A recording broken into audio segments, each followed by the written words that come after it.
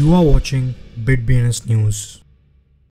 Hello and नमस्कार। अभी market पूरी तरह से वॉलेटाइल है, इसलिए यूज़र्स के लिए ये जानना महत्वपूर्ण है कि क्रिप्टो की दुनिया में क्या हो रहा है क्रिप्टो से जुड़ी क्या खबर है। तो ये सुनिश्चित करें कि आप रोज़ाना क्रिप्टो समाचार देखें और अपने आप को अपडेटेड रखें। आज की हेडलाइन 60 परसेंट से अधिक अमेरिकी पेरेंट्स कहते हैं कि स्कूलों में क्रिप्टो के बारे में पढ़ाना जाया चाहिए। पोल कहता है, एक सौ ग्यारह मिलियन शिवा इनू मिस्टीरियस वॉलेट से जले, दो सौ तेरह मिलियन चौबीस घंटे में जले, जिससे बन रेट में नाइनटी का स्पाइक हुआ। Shiva swap volume yearly low में वन बिलियन डॉलर से अधिक गिर गया। गाना सेंट्रल बैंक ने रेगुलेटरी सैंडबॉक्स लॉन्च करने की घोषणा की। नए पॉलीगॉन प्लेटफॉर्म फ्रंट फैंस ने स्पेशल हेलोवीन कैंपेन की घोषणा की। बीजिंग ने two year metaverse innovation and development plan की घोषणा की। रिपल ने पार्टनर ट्रैंगलो के माध्यम से सेकेंड लार्जेस्ट अरब इकोनॉमी में विस्तार किया। Canadian securities commission unregistered crypto companies पर चेतावनी जारी करता है। बेबी डोज होल्डर काउंट ने शिवा इनू को पार किया। नया ऑल टाइम हाई हिट करता है। सोलाना पोलका डॉट अब दुनिया के सबसे पुराने active crypto exchange Bitstamp पर लिस्टेड है।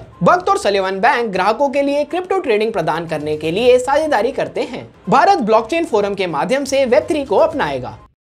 सर्वे में भाग लेने वाले आधे से अधिक माता पिता ने कहा कि उनके बच्चों को अमेरिकी स्कूलों में ब्लॉकचेन और क्रिप्टो करेंसी का स्टडी करके हमारी अर्थव्यवस्था के भविष्य के बारे में सीखना चाहिए। विशेष रूप से 884 अमेरिकी माता पिता और 210 अमेरिकी कॉलेज के ग्रेजुएट्स ने दिखाया कि 64 परसेंट और 67 परसेंट रिस्पेक्टिवली इस बात से सहमत हैं कि क्रिप्टो करेंसी आवश्यक शिक्षा का एक हिस्सा होना चाहिए, जैसा कि ऑनलाइन एजुकेशनल प्लेटफॉर्म स्टडी द्वारा किए गए सर्वे से पता चला। पिछले 24 घंटों के भीतर शिवा इनू समुदाय द्वारा 213.06 मिलियन से अधिक शिवा इनू जलाए गए। शिवा इनू टोकन के लिए बर्न रेट तेज हो जाता है क्योंकि रहस्यमय पर्स में से एक ने दो अलग अलग ट्रांजैक्शन में 111.63 मिलियन शीप को जला दिया है। प्लेटफॉर्म पर लिस्टेड ऑल्टरनेटिव कॉइन्स में लिक्विडिटी में गिरावट के कारण जुलाई में शिवा स्वैप ने ट्रेडिंग वॉल्यूम में भारी गिरावट देखी। डिजिटल एसेट की कीमतों से रिकवरी के कई प्रयासों के बावजूद शिवा स्वैप ने जुलाई में एक नया फॉलोइंग टेस्ट किया। घाना का हाल ही में लॉन्च किया गया रेगुलेटरी एंड इनोवेशन सैंडबॉक्स एक रेगुलेटरी एनवायरनमेंट के लिए केंद्रीय बैंक की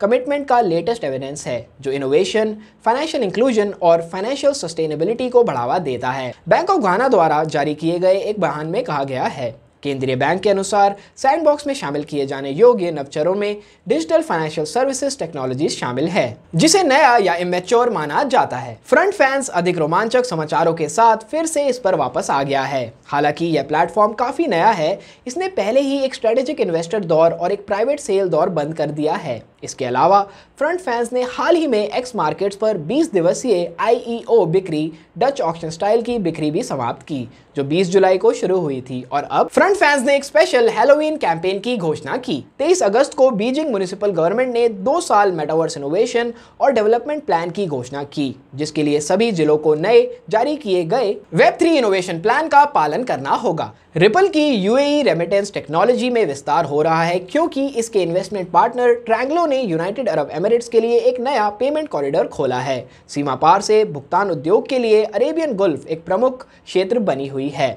इसके लिए इस कदम का महत्व है। अरेबियन गल्फ में दूसरी सबसे बड़ी इकोनॉमी के रूप में United Arab Emirates world level पर रेमिटेंस के टॉप सेंडर्स और रिसीवर्स में से एक हैं। कनाडा में ऑन्टेरियो सिक्योरिटीज कमीशन ने तीन KuCoin unregistered crypto platforms including related companies के निवासियों को एक और कंज्यूमर अलर्ट चेतावनी जारी की है। ओएससी की लेटेस्ट अलर्ट निवेशकों को डिजिटल संपत्ति से जुड़े जोखिमों से बचाने के लिए रेगुलेटर्स द्वारा की गई कार्रवाइयों की एक चेन का हिस्सा है।